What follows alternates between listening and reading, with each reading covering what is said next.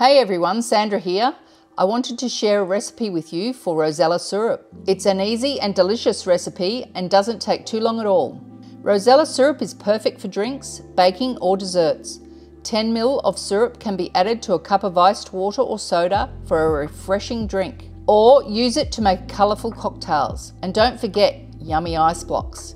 There are plenty of options with this versatile syrup. Let your imagination run wild. Here are the ingredients and method. Feel free to pause here and prepare your ingredients and utensils. You can take a screenshot to reference or share.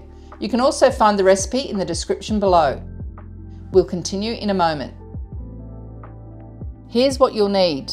100 grams of dried rosella, 6 cups of water, 3 cups of sugar, 2 teaspoons of lemon juice. Here's what to do.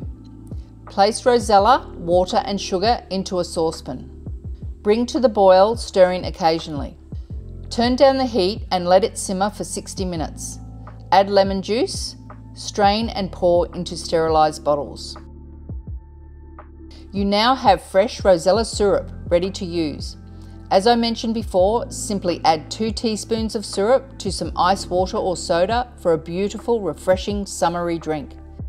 That's it. We hope you enjoyed this video. If you'd like to see more, make sure you hit the like button, subscribe to our YouTube channel, and let us know in the comments what recipes you'd like to see next.